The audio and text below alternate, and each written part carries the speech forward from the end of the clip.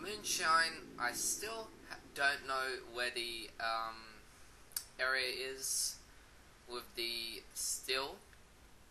So it's really annoying. But, wait, I have two more quests. That quest, and I've got to get out of here.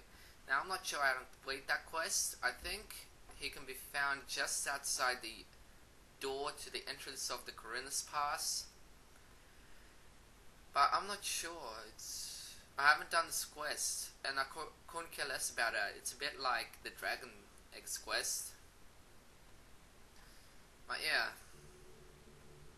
after the Moonshine quest, there's basically not much to do. Let me just check. Valley of the Mines Pass. Nope, don't need that. Um, let's see. We go, teleport to the Pass of Khorinis. And so we teleport. Uh,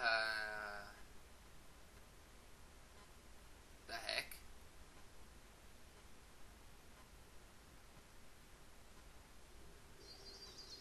Well, that was weird. I don't know how that happened. Die, you miserable bandit. Damn it! I still wear bandit armor.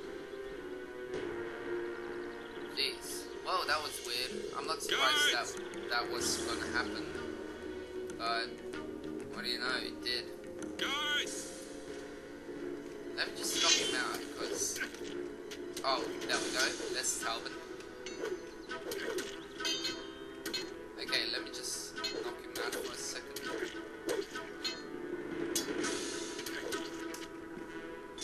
Oh, and there's also a stone tablet. Now let me put on my good armor and let me read the stone tablet.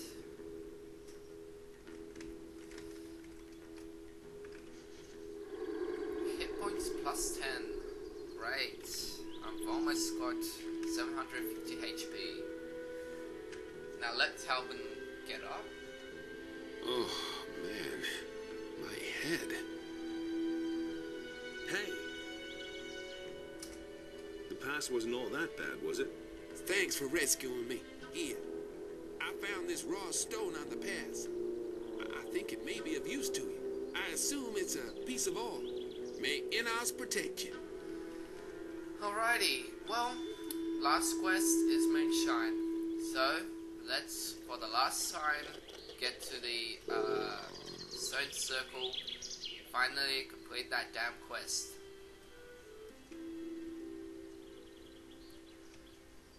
Oh, and if you're wondering, talking to Buster about the Shadow Beast horns, My city merchant has made his farewells. What is that supposed to mean? He's dead. You can keep the horns. I wouldn't know what to do with them now. you just get some XP and you complete the quest.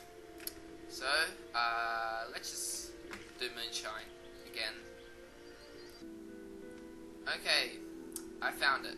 Coming down from the stone circle, down the ladder, just go over here, jump down, and it might be a bit difficult to find it first, but try find this small card here, turn around, and there is the cellar. So let's just kill these rats. And now let's turn the winch.